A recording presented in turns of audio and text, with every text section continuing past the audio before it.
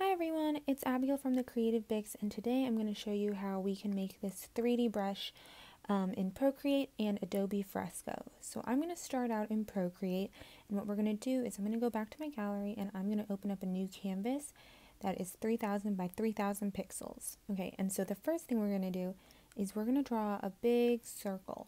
Um, I'm using my Sadie brush. You can get it in my Etsy um, but you can use whatever brush you like. I'm just going to draw a big circle and then I'm going to hold my pencil, let it snap, and then with one finger I'm going to tap, make it a perfect circle. And then I'm just going to drag and color fill. And then I have snapping turned on, so I'm just going to put that right in the direct center. Okay, now on a new layer, you can see I've already worked out one down here, but on a new layer, I am going to start drawing and I want to use these retro colors right here. And so we are just going to draw like a little pie shape. And this is where you can get really fun. You can draw really fun designs, but what really matters is what's going on the outside around here. So you want to pay attention to how the colors are looking around on the outside. And you can get really um, fancy with all of this. You can do um, symmetrical designs. You can do, maybe I'll go, I have this red color, maybe I'll do a little bit darker red here. Okay, so you can do really fun designs. Um, I'll show you a few options you can do. You can liquify, you can do that. Um, but I'm not going to do that. I'm just going to leave that here. And I'm going to turn this into a clipping mask. So it's going to clip this top layer onto this bottom layer right here. And that's all I'm going to do. Um, you can actually, uh, actually let's liquify and let's turn the distortion all the way down. We're going to turn the size just a little bit down and we're going to clean up this center right here.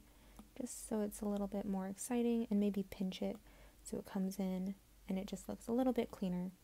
Okay, so with that being said, I have the circle I want. This is the color. These are the colors that my brush is going to look like.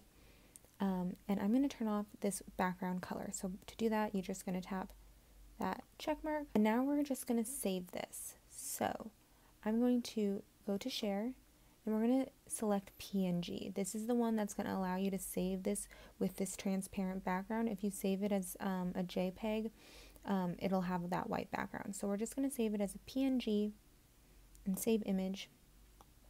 And now we're going to go into a new app called Adobe Fresco. And when you open up Adobe Fresco, it's going to look like this. I have a few designs down here, but I normally use a canvas size that is 4000 by 4000 pixels in Adobe Fresco, just so I don't lose any um, quality. Okay, so now we're going to make a 3D brush. To do that, first you're going to want to import your brush the, the picture you made in Procreate. And I'm going to scale this down just a little bit, um, and you'll see why in a second. And then we're going to tap done. Now we're going to go to our eyedropper tool over here. And as you can see, it has one color selected. If you go down here and you tap this little um, circle here, now you can have multiple colors selected. So what we're going to do is we're going to pinch the screen size so that this entire brush fits within the eyedropper. And that's why I scaled it down a little bit because you can only go so small with your canvas. You can't go any smaller. Um, I'm going to move that back. You can't go any smaller, so you want it to be able to fit all the way in. And you can increase it just a little bit um, and adjust how you feel. Okay, so with that, you need to save it now. And in order to save it, we're going to go over to this swatch panel, and you're just going to tap this little plus sign over here. So if you ever accidentally tap something else and it goes away, you can always go back in here and tap it, and you'll get your swatch. Okay, so with that, now we're going to go up to our brush and we're going to select basic and hard round. And that's the one I normally use to make these 3D brushes. So then we're going to get rid of that. I'm going to zoom in a little bit and I'm going to hide this layer and go back down to another layer. And now you can start painting. This is your 3D brush.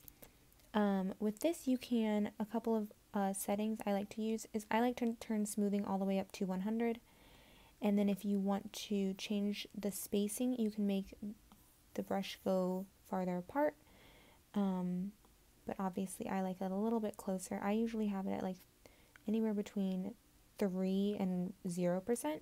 You can also change the angle of your brush, going back and forth like that.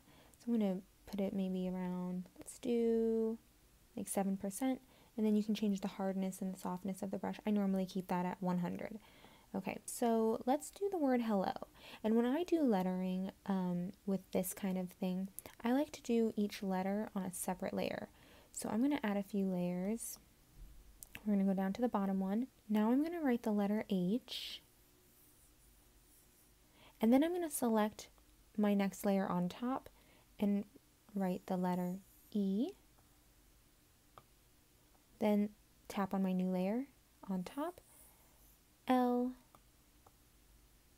make another L, tap on that last layer, and O. Okay, and then I have hello, and obviously that's not perfect, but I don't really mind right now. So what I'm going to do now is, since I'm not um, as comfortable using Adobe Fresco as I am with Procreate, I am going to export this. So I'm going to tap the share button up here, tap publish and export, and then we're going to export this as not a PNG, we're going to export it as a PSD file and I'm going to import that into Procreate directly. So I'll let it do its thing. It's importing. Now we're going to go back to our gallery and I have it right here. Okay, and so what you can see is because I exported it as a PSD, I have all these separate layers. So what you can do with that is you can add shading and make them all separate. So if I go down to this H layer, and say I'm gonna I'm gonna use a, a medium gray color. I'm gonna use my Sadie brush again and I'm gonna turn this into a clipping mask so that I'm only drawing here and I'm gonna draw I'm gonna make my Sadie brush just a little bit smaller. I'm gonna draw right behind this E and see how it's only on this H right here and it doesn't get on the E that's what the clipping mask does and because it's on separate layers. And then I'm going to smudge it. And I'm going to use a soft brush to smudge. Um, you can find that in the airbrush section. I just have a selection of all my favorite brushes that I have at the ready.